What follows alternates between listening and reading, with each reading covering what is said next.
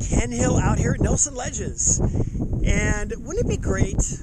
Wouldn't it be great if we had a drill that you could work on your vision and you could work on your depth perception and your motor controls and building a brake graph and getting comfortable with the front end, front end feel. Wouldn't it be great if we had a drill for that? We do. And that's our brake drill. And I've had a lot of people ask me what our brake drill consists of and um, how do we set it up. And this is how we set it up. It's as simple as putting yourself in either a parking lot or some sort of some sort of environment that's flat.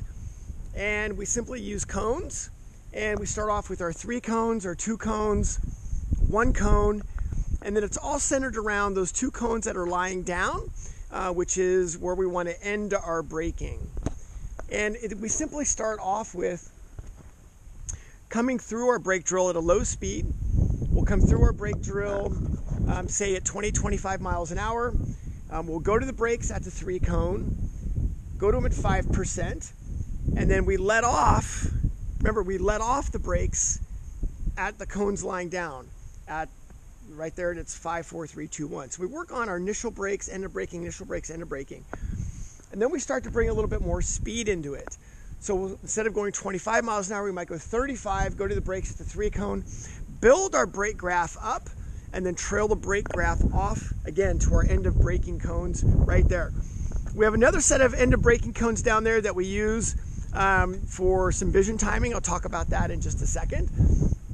And then as that gets more proficient, we'll come in, we'll go to the brakes at the two cones, build our brake graph up steeper and quicker, trail off of it steeper and quicker. But again, the goal is to be letting off the brakes just at those cones. And we start to build these habits, we bring more speed into it.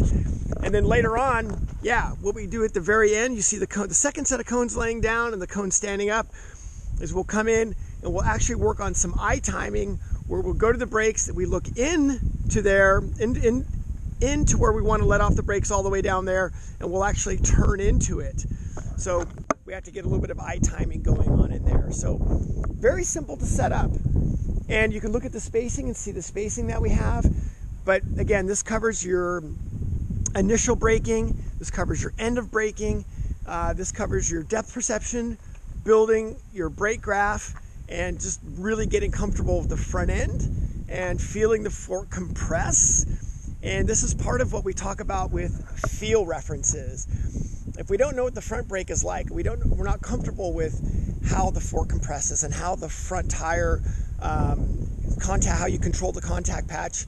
This is the environment that you do it in. So that's our brake drill.